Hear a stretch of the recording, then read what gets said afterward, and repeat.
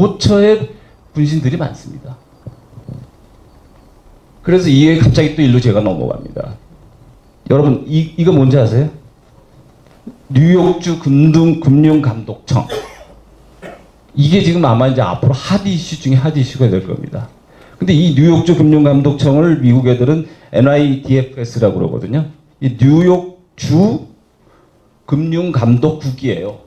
그 뉴욕 주의 한 저거죠. 우리나라는 금융감독원이라는 게 여의도에 있으면서 은행들 감리 감독을 하지 않습니까? 근데 미국은 주단이니까 미국 금융의 본산지가 뉴욕에 몰려 있으니까 뉴욕에 있는 전 세계 은행들은 다 이 뉴욕주 금융감독청의 감독 아래 있습니다.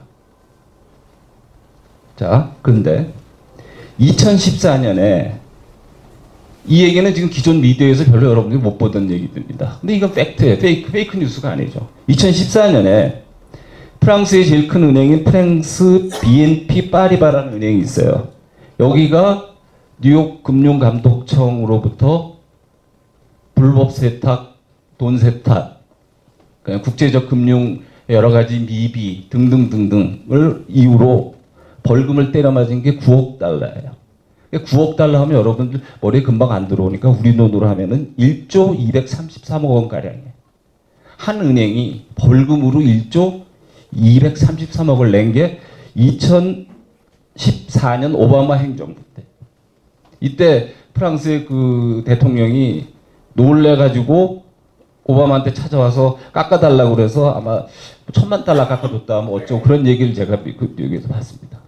이게 아마 우리 전 세계 자본주의 금융 사상 은행이 때려 맞은 벌금 중에 최고 기록입니다.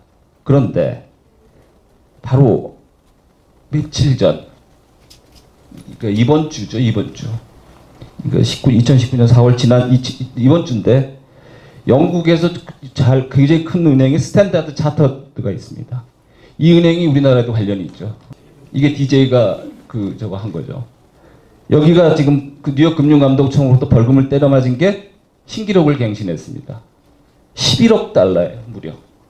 그럼 1조 2,500억 가량이에요.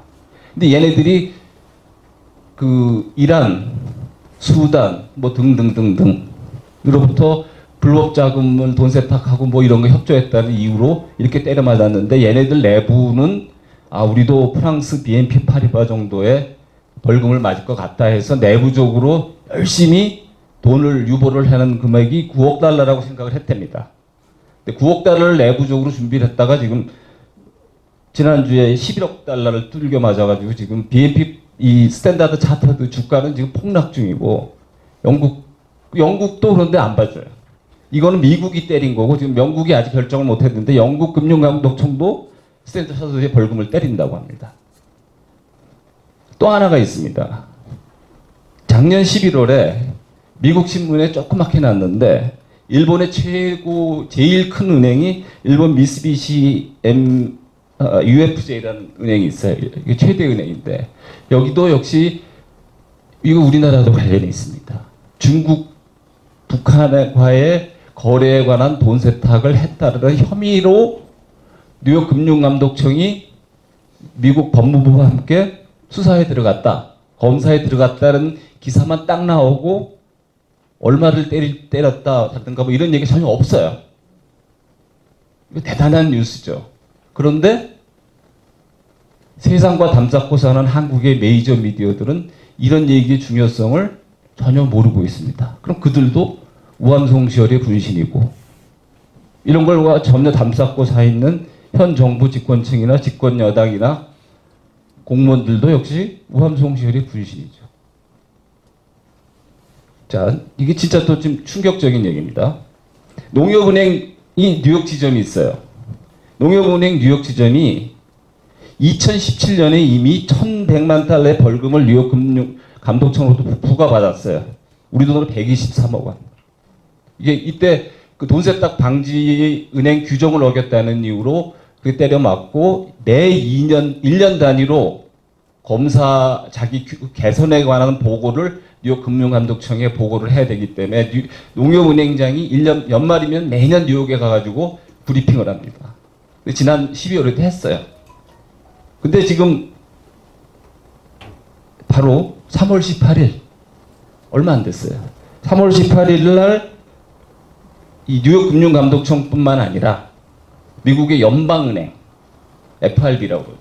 연방은행이 합동 감사가 시작이 됐어요. 무려 6주간.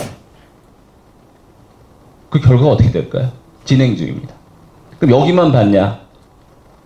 이어서 줄줄이 지금 우리은행도 지금 들어가 있습니다. 우리은행 뉴욕 지점.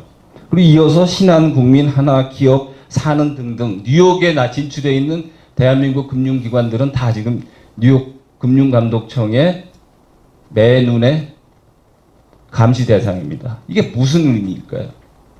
이게 의미를 몰라요. 해석을 못하고 있어요, 우리나라. 이 정부도 그렇고, 메이저 언론도 그렇고. 상당히 상징적이죠. 이, 이것이 갖고 있는 의미가 아마 잘 여러분들이 생각해 보시면 이번에 그 한미 간의 트럼프와 문재인이 만난 그 정상회담에서 트럼프 측이 보이는 그 여유로움 이그 숨어 있는 것이 아닌가 저는 그렇게 생각합니다. 여기 덧붙여 제가 하나 말씀드리는 거는 어, 요거 뒤에 안 했는데 요거는 그 제 그냥 개인적인 느낌인데 지난 월요일 날 이거보다 더 큰 충격적인 뉴스가 하나 있었습니다. 근데 그 충격적인 뉴스를 아마 여기 계신 분도 잘 못 들으신 분이 많을 거예요. 왜? 메이저 언론이 잘 못하니까.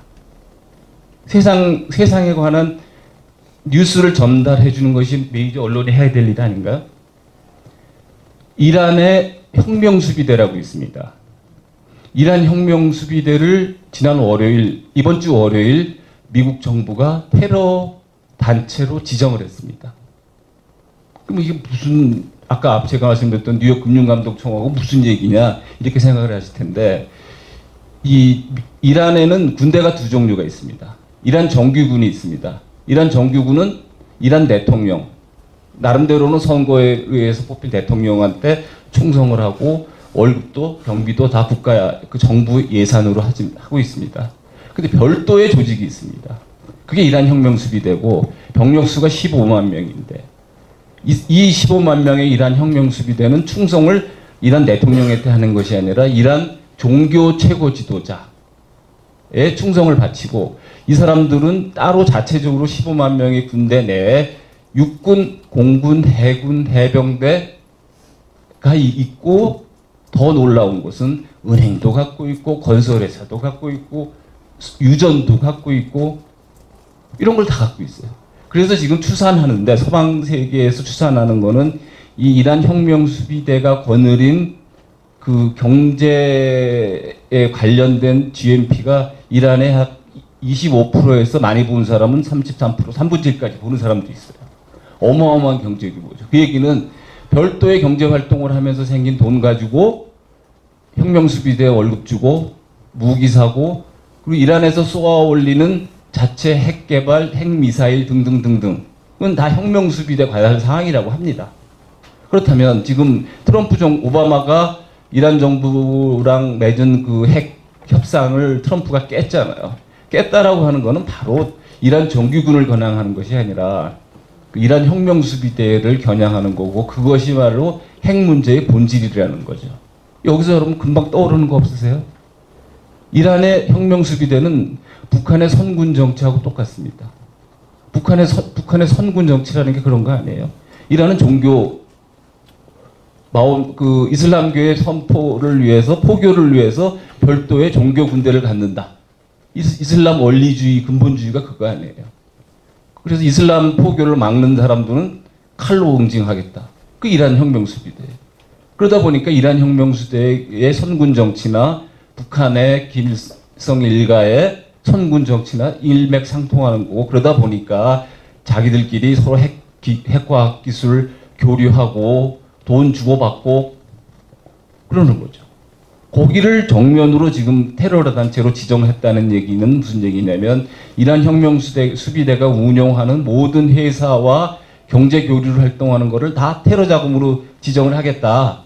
거기랑 단 1원만 거래를 해도 아까 얘기한 것처럼 9억 달러, 11억 달러의 벌금을 맞을 수가 있다라는 사실을 전 세계 경제 주체 기관 은행들한테 선포를 한 건데요. 그 얘기는 간접적으로 북한의 핵 문제에 대한 미국의 깊은 뜻이 있다라고 봐야 되겠죠. 그게 월요일이에요. 그런데 전혀 그 그것이 무슨 의미인지도 모르고서 지금 우리나라 대통령은 트럼프를 가서 만나가지고 무언 얘기를 했는지 모르겠지만 그런 얘기를 하고 있고 또 그걸 쫓아간 메이저 언론사의 기자들은 그게 뭔지에 대해서 이란 혁명 수비대를 테러 단체로 지정한 것이 북한 핵 문제하고는 무슨 관계가 있습니까? 라고 질문 하나 못 하고 있는 게 한국 메이저 언론의 실상이다. 그리고 바로 그런 그 세상과 담산 한국식 원리주의자 근본주의자들을 통쾌하게 비판하고 가르쳐 주시면서 우리 아까 소중한 5만 명의 분들한테 진짜 세상을 알려주시는 그 정보를 주시는 게 우리 김영호 교수다. 저는 그렇게 생각합니다. 예, 아,